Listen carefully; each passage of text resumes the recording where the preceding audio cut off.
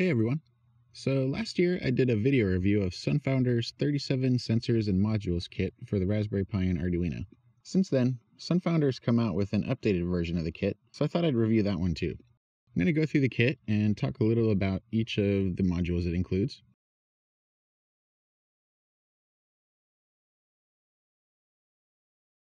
Let me just open it up.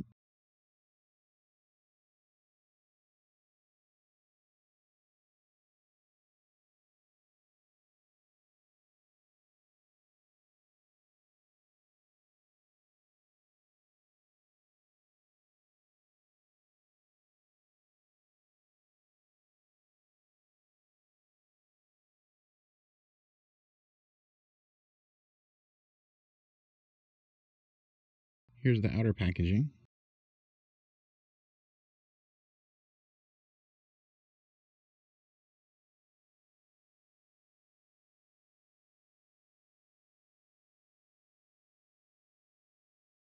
Let me open up the box here.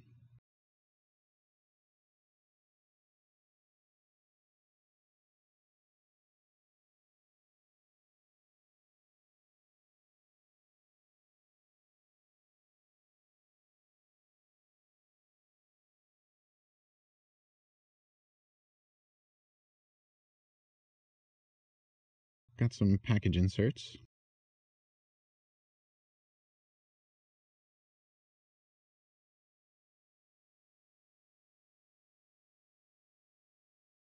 It looks like they've included a GPIO expander in this version. That's nice. Here's the instruction manual. It says the kit is for the Raspberry Pi Model B+, but these modules can be used for any Raspberry Pi. Looks like there are descriptions of all the modules. The instructions look a lot better than the first version. They have schematics and wiring diagrams. Looks nice. They also included example code. One of the complaints I heard about the first kit was that the instructions were pretty inadequate. But it looks like they've totally rewritten the manual and it looks a lot more detailed.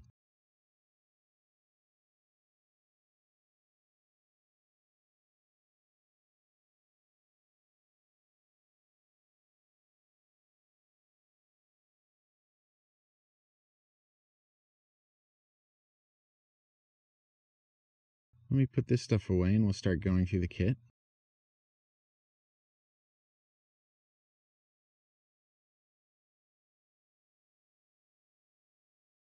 All right.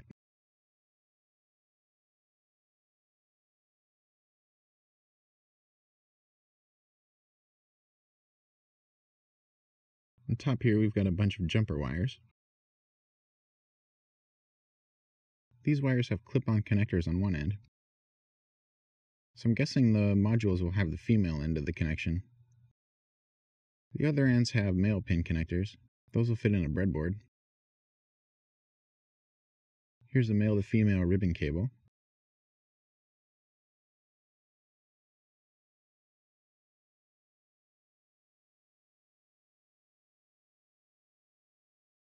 Alright, let's have a look at the sensors.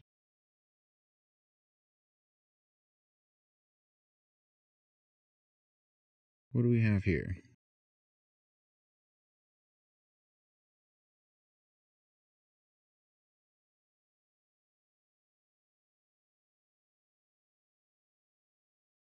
Okay, this is the obstacle avoidance sensor. It uses infrared to detect when an object is in front of it.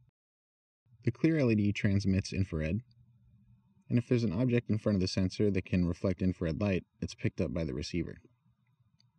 It works best if the object is white, like a wall, since dark colors tend to absorb infrared light.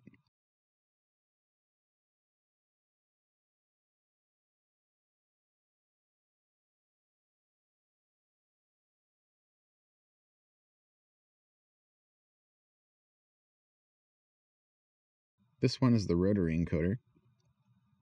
It's similar to a potentiometer, but it has unlimited rotation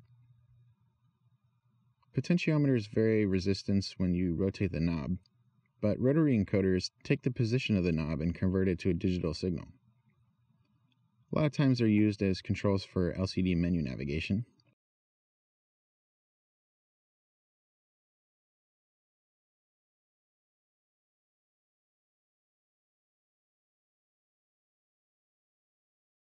This is the DS1302 real-time clock module. It gives you the date and time.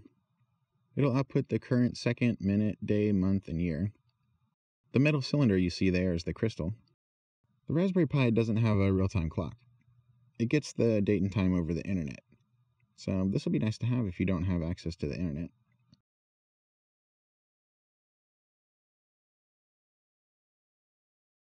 This is an RGB LED.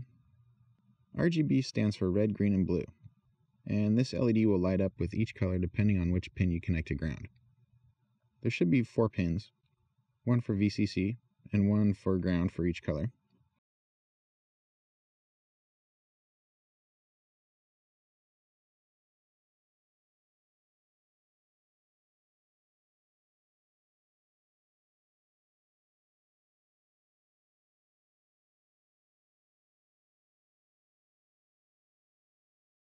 This one's just a simple potentiometer.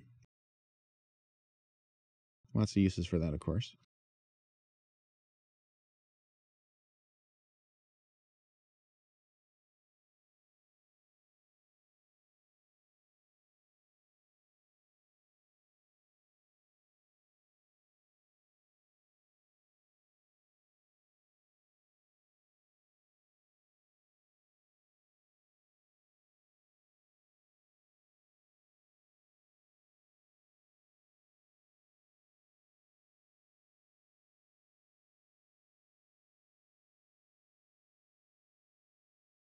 This right here is a tilt switch. There's a little conductive ball inside the blue casing, and when it tilts to either side, the ball bridges the connection between two contacts. The module outputs a high signal when the sensor is level, but when it's tilted, the signal goes low.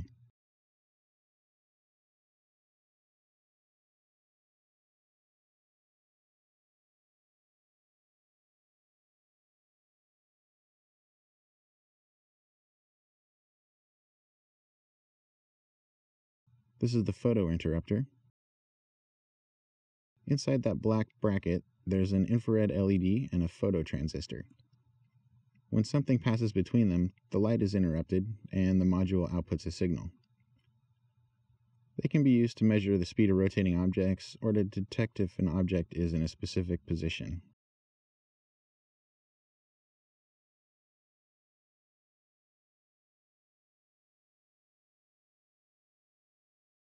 All right, here we have the tracking sensor. This is sometimes used in robotics to keep a vehicle following a black line.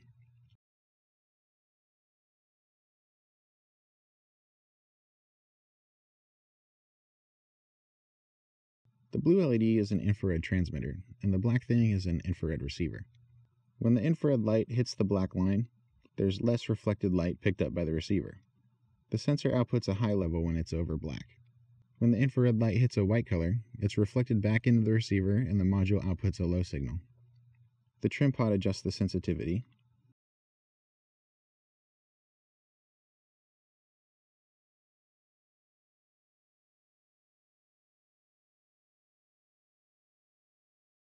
Alright, looks like this is the reed switch. Reed switches detect magnetic fields. When there's no magnetic field present, the signal is kept high. When the sensor detects a magnetic field, the signal output is switched to low. Reed switches aren't very sensitive. The magnet needs to be about 1.5 centimeters or closer for it to be detected. Hall sensors are a lot more sensitive. This is the active buzzer. It makes a buzzing sound when you send a voltage to the signal pin. Passive buzzers are a little bit different, but I'll tell you more about that when we get to the passive buzzer module.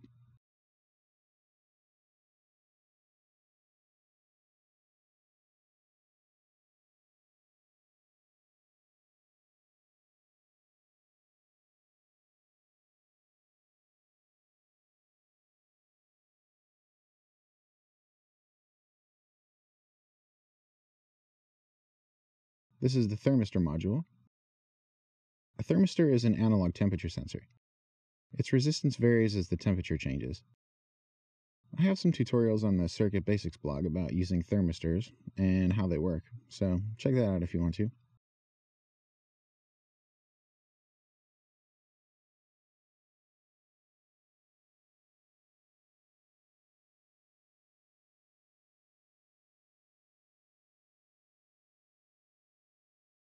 This is the Hall switch module. A Hall switch outputs a variable voltage depending on the strength of a magnetic field. The Hall switch is turned on when there are no magnetic fields, and a high signal voltage is output at the signal pin. When it detects a magnetic field, the switch is turned off and the signal voltage goes low.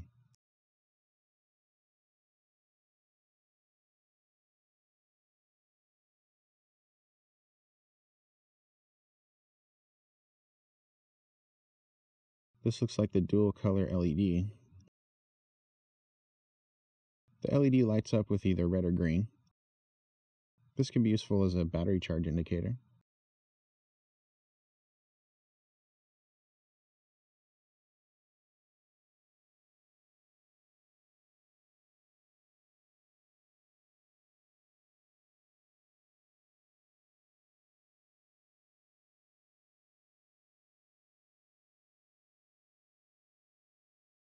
Okay, so this is the auto flash LED module.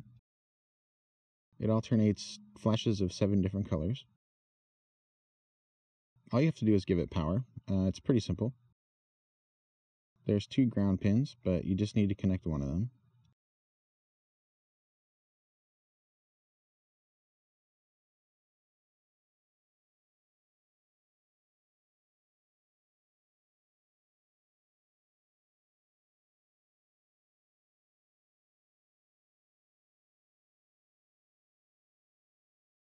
This is the flame sensor module. It has analog and digital outputs. Sensitivity is adjusted with the trim pot right there.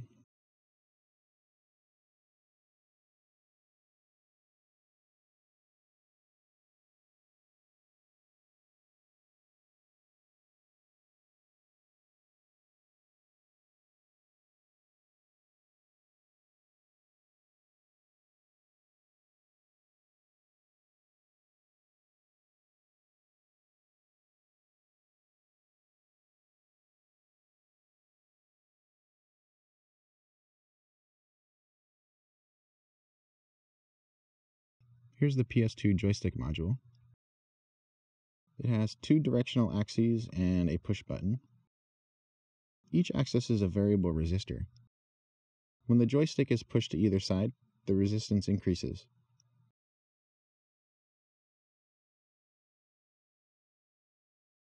These are usually used in gaming projects or as controllers for robots and remote control vehicles.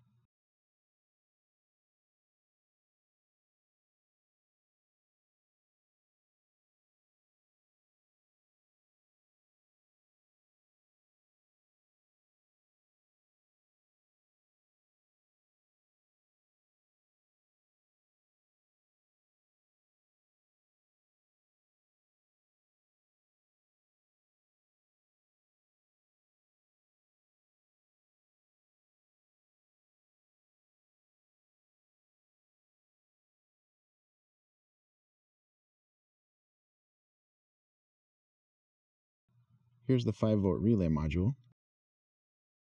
This basically lets you use 5 volt signals to switch higher voltages.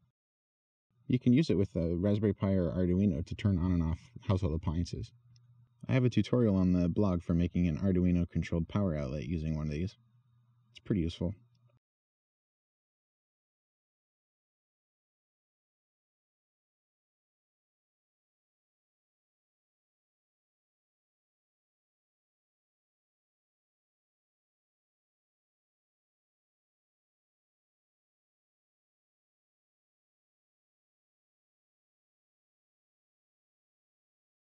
Here's the button module.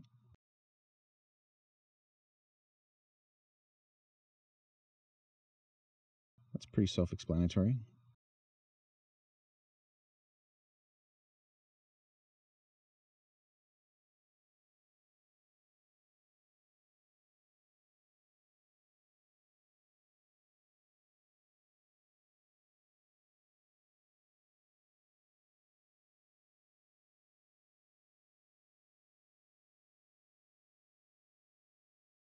This is the sound sensor module. It's an Electret microphone connected to an amplifier. It'll output a voltage between 0 and 5 volts depending on how loud the sound is.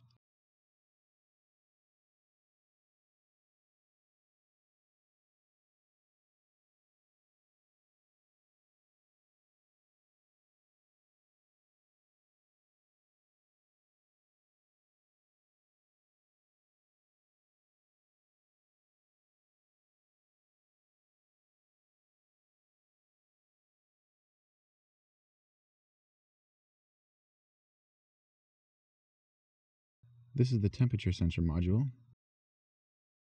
It has the DS18B20 digital temperature sensor. This is a really accurate thermometer.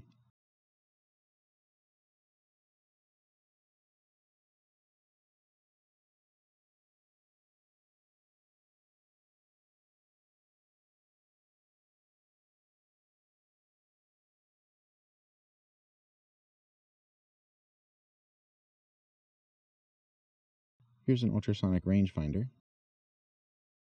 This will tell you the distance from the sensor to an object. It uses the speed of sound reflecting off of an object to calculate the distance. The ICs on the back here generate the sound pulse and amplify the reflected pulse.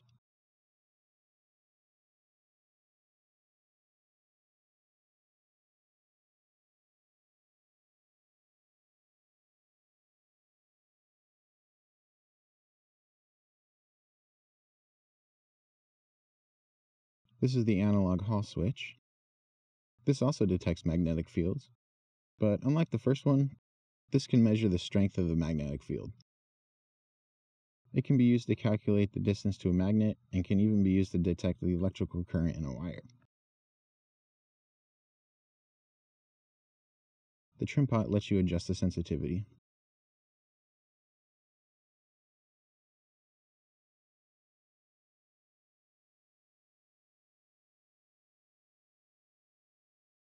This is the infrared receiver.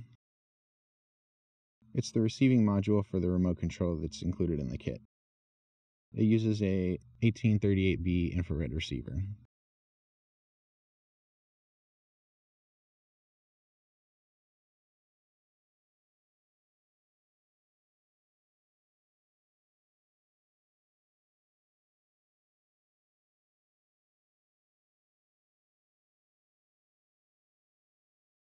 This looks like the MPU 6050. This is a three-axis gyroscope and accelerometer. It measures tilt and rotation.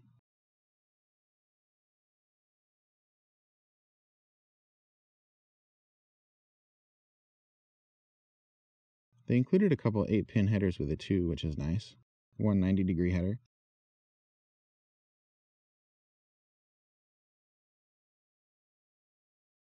and one straight header.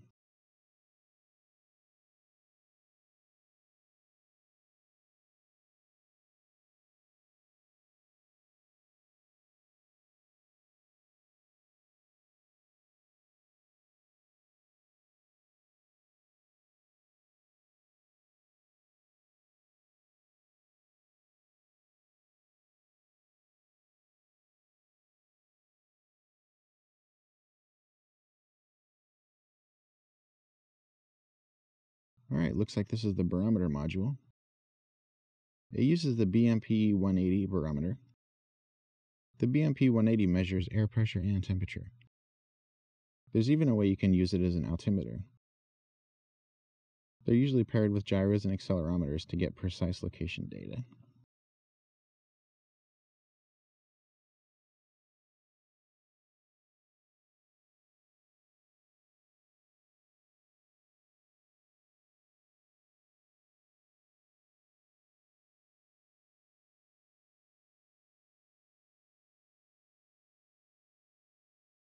This right here is the humiture sensor.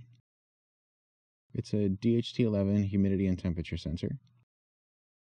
DHT11 outputs digital temperature and humidity readings.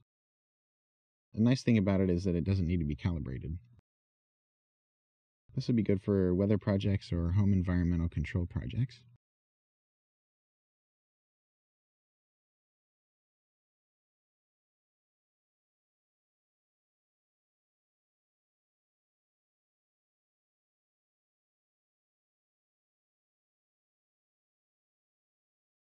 The next module is the analog temperature sensor. This is more like a temperature controlled switch.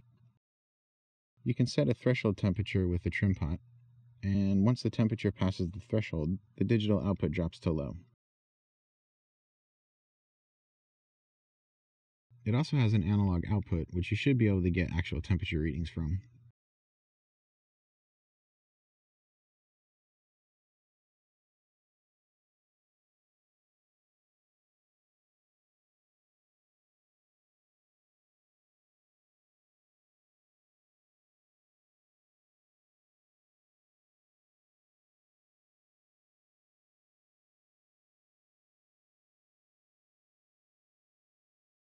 This is the mercury switch module. A mercury switch is a type of tilt sensor. There's a small drop of mercury inside the glass bulb. It runs along a conductive track, and when the sensor is tilted one way, the mercury bridges the connection between the track and another conductor. When the sensor is tilted the other way, the mercury rolls away and the contacts are open. It's kind of hard to see the contacts here. Careful with this one though, you don't want the glass to break and release the mercury. Mercury is toxic, so never touch it with bare hands.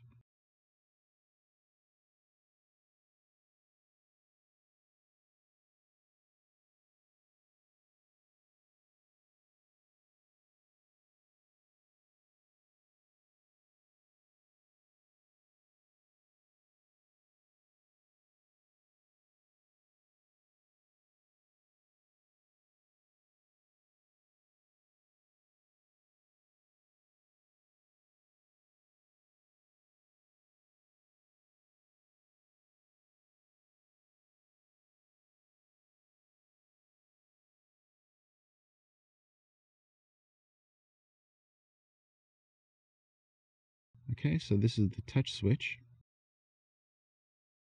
When you touch the contacts, the sensor acts as a flip-flop switch. So if you touch it once, the switch will change states and hold that state until it's touched again. The output signal changes between low and high with each touch.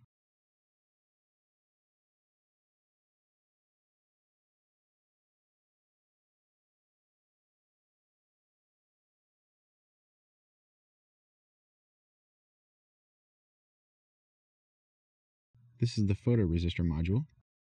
Photoresistors detect light. The resistance changes with varying amounts of ambient light. The resistance decreases when more light hits it.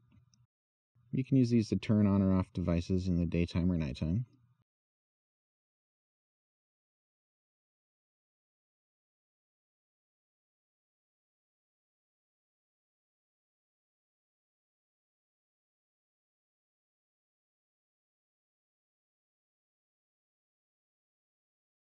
This is an analog to digital converter. It uses the PCF8591 IC. The PCF8591 has four analog inputs, and the digital output is sent via the I2C bus.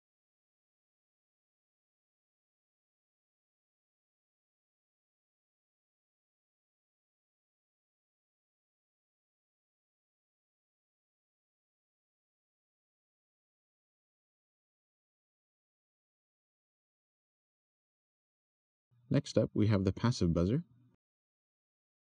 Passive buzzers won't make a sound by just sending a supply voltage to it. For that, you need an active buzzer. Instead, passive buzzers need a frequency signal, like a square wave, to generate sound. It works a lot like a speaker.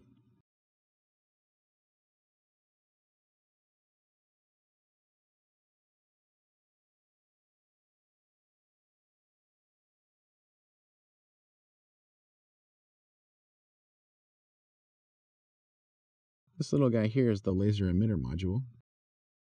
It generates a red laser beam just like you find in laser pointers. All it needs is a 3 to 5 volt supply.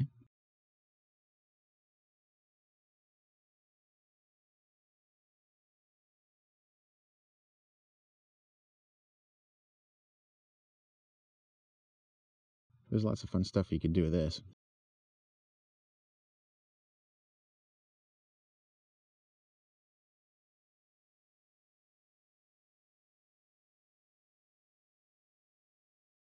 And this module is the gas sensor. This is an MQ2 gas sensor. It detects combustible gases like natural gas, smog, and volatile vapors. The higher concentration of gas, the greater the value it will output.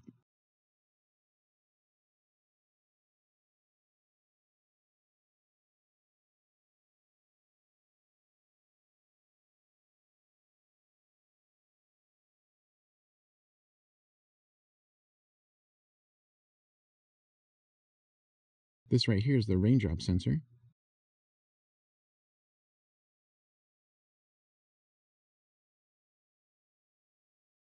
The trim pot allows you to adjust the sensitivity.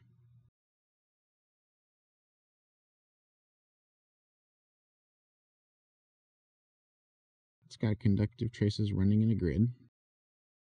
The sensor detects the increase in conductivity caused by water drops between the traces.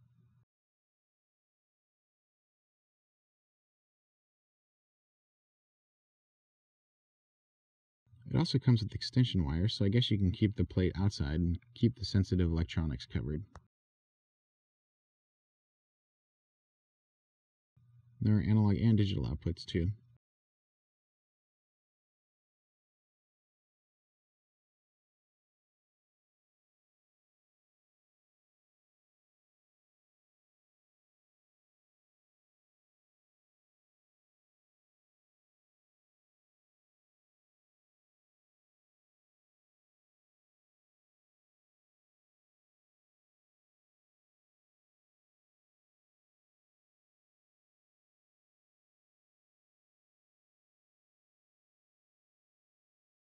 Okay, so I guess this is the GPIO expander.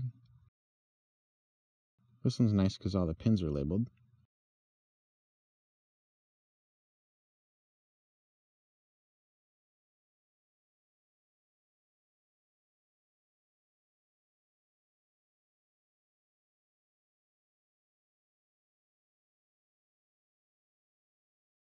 Here's an LCD display.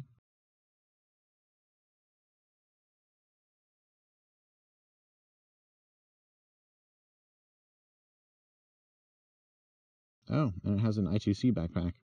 That's cool. I2C is nice because it lets you connect it with only four wires.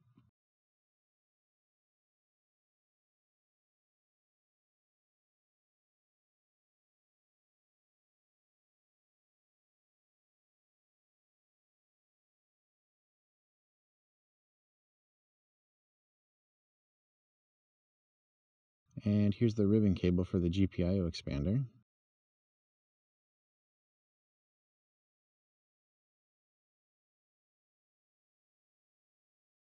The red part plugs into the breadboard.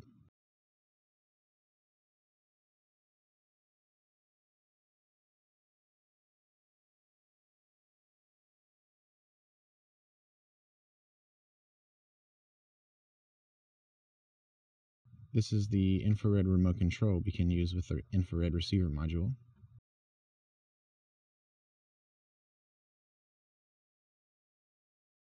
And here's a breadboard. Alright, that's everything. This is a really nice kit. Especially if you're just starting out, there are so many modules. It's going to keep you busy for a long time.